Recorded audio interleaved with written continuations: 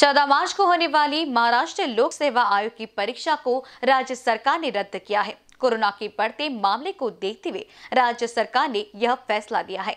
सरकार के इस फैसले में एमपीएससी की पढ़ाई कर रहे छात्रों ने विरोध किया है। छात्रों ने शहर के सकरदरा चौक पर एकत्रित होकर राज्य सरकार ज़ाहिर निश्चित किया है। छात्रों का कहना है कि बारहवीं कक्षा की परीक्षा ली जा सकती है तो एमपीएससी परीक्षा क्यों नहीं ली जा सकती?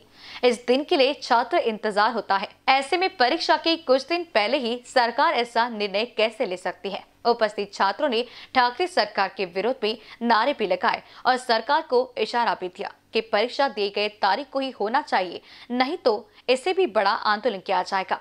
एक छात्र ने तो राज्य के मुख्यमंत्री उद्धव ठाकरे को आत्महत्या करने की अनुमति मांगी है। गेल्या तीन वर्षापासून विद्यार्थी परीक्षेचा अभ्यास करत आहे. सलग पाचव्यांदा परीक्षा पुढे ढकलण्यात आली आहे. याची सरासर जबाबदारी ही सरकारची आहे. राज्य सरकार डिसिजन घेऊ शकत नाही. तीन तीन लोकांचा चा- तीन चाकाची गाडी आहे ही.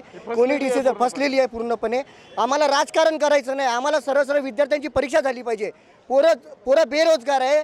खेड्यापाड्यात नाही येतात. तिकीट लावून येतात. सेंटरवर त्यांची बसायची फॅसिलिटी नाही. त्यांना इकडे रूम रूम महागलेलं आहे सगळं महागलेलं आहे. सरकारने याचा सगळ्या गोष्टींचा विचार करून पारदर्शकपणे चौदा तारखेला एम पी एस सीची परीक्षा घेतली पाहिजे.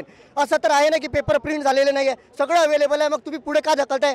जे डबल ई बारावीच्या मुलांची एक्झाम होत आहे. चार चार वेळा यू पी एस सीची सेकंड फ्री होऊन गेली. तरी एम पी एस सी होत नाही आहे सरळ सरळ गोष्ट आहे. अठ्ठावीस तारखेला ज्या आरोग्य अधिकाऱ्याची एक्झाम झाली त्याच्यामधला घोटाळा लपवण्यासाठी पुढे ढकलण्यात आलेला आहे एम पी एस सी दुसरं काहीही नाही.